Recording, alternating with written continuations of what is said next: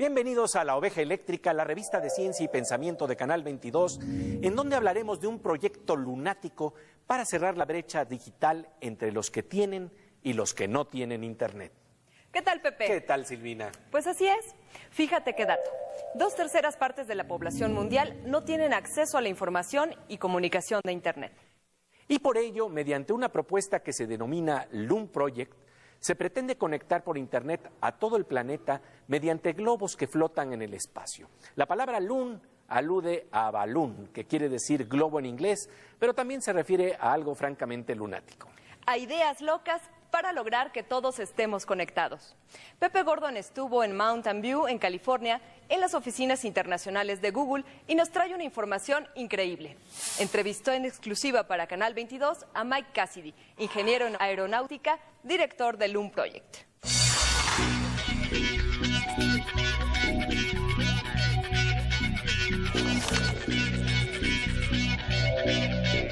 Mike Cassidy, thank you very much for this interview for Channel 22. Sure, happy to be here. You envision a future in where we have a party with thousands of balloons floating in the stratosphere. Tell us what is this party all about and how it's going to be related to our future. Sure. Well, on this party, there will be tens of thousands of balloons floating 20 kilometers up in space, in the atmosphere, twice as high as airplanes fly.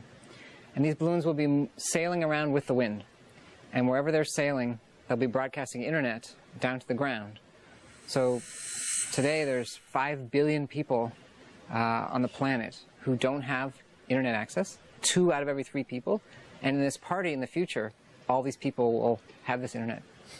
How, how does that, did, how this idea came about? Well, balloons have been used for communication for a long time. Even about AD 200, uh, Chinese military was using balloons to communicate uh, with lanterns and things like that. Uh, and Larry Page, uh, the CEO of our company, spoke about this idea over a decade ago. But it wasn't until about two years ago that someone at Google X,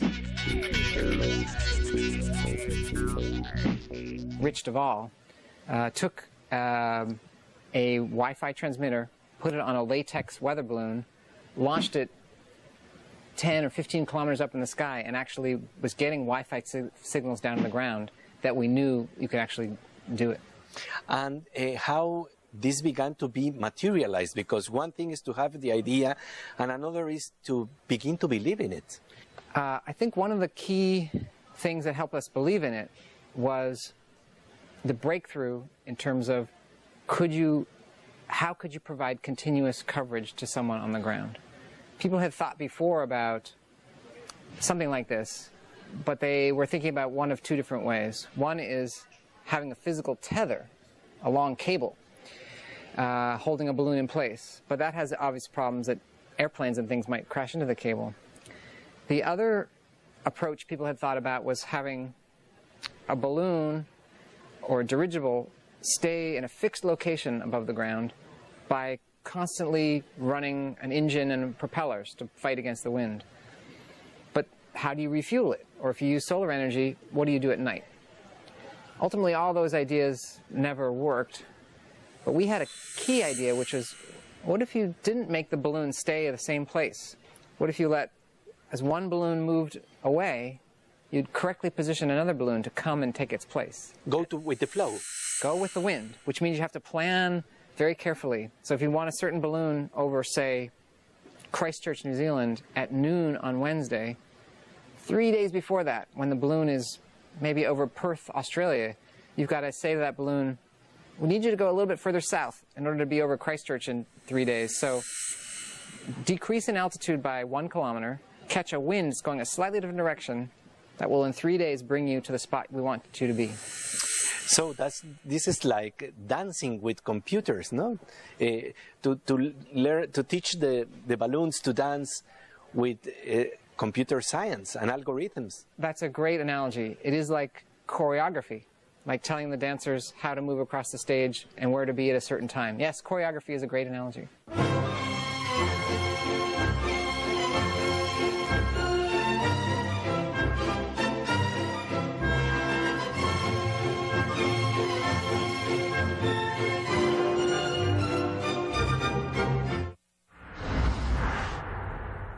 La danza de los globos mediante la informática. Una idea loca para comunicar a todo el planeta con Internet. Más adelante hablaremos de los problemas técnicos para materializar este concepto.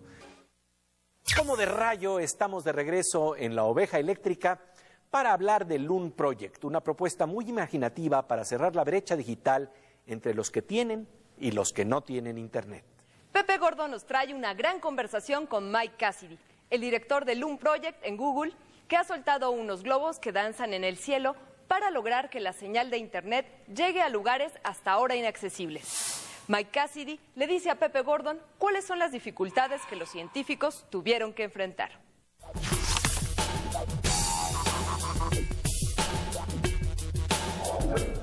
What were the problems, the technical problems? Because, you know, so this idea is very nice, and you can say we can have these algorithms, but in, in fact, to have them, it's another thing. There were a lot of technical problems. Uh, for one thing, uh, most of the weather balloons that are launched every day, they are made out of latex and they pop once they reach certain altitude. So you need to design balloons that are strong enough that when they reach super pressure condition, when the pressure inside the balloon is higher than outside, they won't pop. And the conditions up at 20 kilometers high are very challenging. It's very cold up there, minus 50 degrees Celsius. So a lot of your plastics and metals become very brittle. Um, there's very little atmosphere up there. Only about 2% of the atmosphere that's on the ground is the pressure you have up there. So you have to design things that can work almost in a vacuum. You're almost in space at that point. And in fact, if you look at cameras uh, on our balloons used to monitor the systems during testing, you can see the black space and the curvature of the Earth up there. And finally, it's a very intense ultraviolet uh, environment. There's no sun to block out the intense rays, and those ultraviolet rays will damage your plastic and other materials on the balloons. And what other kind of breakthroughs do you had to do regarding science to develop a project of this kind? The altitude control part was a big breakthrough. Uh, some people think, well, why is that so hard? Just make the balloon and go up and down. But what you're fighting against is buoyancy. And I sometimes like to make the analogy if, if you take a beach ball and you sit it on the surface of a swimming pool, if you try to push that beach ball down in the pool, like push it down three feet, see how hard it is to push it down into the denser water. That's the same problem when you've got a balloon up at 20 kilometers. If you try to push that balloon down one kilometer, it's a very hard problem to fight against the denser atmosphere. We devised a system that has two chambers inside the balloon. One chamber is full of helium, and the bottom chamber has air in it. To make the balloon go down, we fill the bottom chamber with air. We pump the air in from outside. That makes it heavier, the balloon goes down. Then when it's time to go up, we pump that air out. Actually, all you have to do is open a little valve and the air pushes itself out. And then the balloon rises. Oh, but that has to be controlled like a drone, yes? In some way, because you don't have man, men there's certainly no, doing that. There's certainly no people on the balloons. Yes, so? Um, it, we have many automated systems that um, control where the balloons go, control their altitude, and we have software, a mini computer on the balloon that opens and closes the valves at the right time to make it go to the right altitude. On the ground, we always have people watching to make sure the balloons are doing what they're supposed to be doing, but much of the systems are all automated. Yeah, big computer program. And uh, what area each, each balloon, how much area showers with the signal of internet? Uh, it covers a circle on the ground about 40 kilometers in diameter. So um, that's, a, uh, that's about a thousand uh, square kilometers of, of area underneath the balloon. So uh, when envisioning uh, the future, how many balloons would have to be on the Earth to cover the whole population? Well, when we launched our pilot test in New Zealand, um, we were calculating about 300 balloons to make one ring around the Earth. That ring would be about 40 kilometers wide. So as you try to cover more and more of the Earth, you're talking thousands of balloons required to cover more of the Earth. But the interesting thing is you don't have to cover every square inch of the Earth. For example, there's large swaths of maybe the middle of the Pacific Ocean, which you don't need to have internet coverage there. So one of the things we calculate is where do the balloons most need to be located to provide optimal coverage where people need them. And in that sense, how many are you thinking about? Well, it's certainly thousands. Uh, we don't know the exact number because it's changing. It changes with the diameter of coverage. If we can make the coverage area a little bigger, then we need fewer balloons. If it's uh, if the coverage area shrinks, we need more balloons. And also depends on how well we can control the balloons. If we can control them, so we just need exactly the right amount over the areas needing coverage, and we don't need any over the ocean, then we don't need that many balloons. But if we need to have some traveling with the winds over the oceans to reach the other areas where we need coverage, then it's more. So that number is changing all the time. And what about the ground stations? Because you also need ground yes. stations. Yes. Um, so we do have ground stations which are connected to the internet that beam the internet up to one balloon, and then from that balloon we beam it to a next balloon, balloon to balloon, and potentially to a third and fourth balloon before it goes down to the ground to reach um, an end user. And we think about five hops between balloons is about the maximum we want to do. Currently, with this uh, distance of um, 40 kilometers of coverage, that also means 40 kilometers between balloons. Five hops would be about 200 kilometers you could reach from a ground station till you uh, had your balloon reaching an end user. Now, in the future, uh, we have additional technology that we want to roll out that will let us go up to a thousand kilometers from a ground station to the fifth balloon out there. So that's you'd need far fewer ground stations if you can go a thousand kilometers. Oh. Yeah. Pues nunca imaginamos que el cielo futurista estaría lleno de globos para bañar al mundo con las señales invisibles de Internet. Seguiremos con este interesante tema de vanguardia. Como de rayo, estamos de regreso en la oveja eléctrica con una idea loca. En términos políticamente correctos, se habla de una idea de vanguardia, lanzar globos al espacio para que todos tengan acceso al ciberespacio. Esta propuesta se llama Loon Project y Pepe Gordon estuvo en Mountain View, en California, en las oficinas internacionales de Google, en donde conversó con el ingeniero en aeronáutica Mike Cassidy, director de este programa que ha sorprendido a la comunidad científica. Tenemos algunas imágenes que por primera vez se transmiten en la televisión mexicana sobre cómo fue que esta idea pasó de la utopía a la realidad.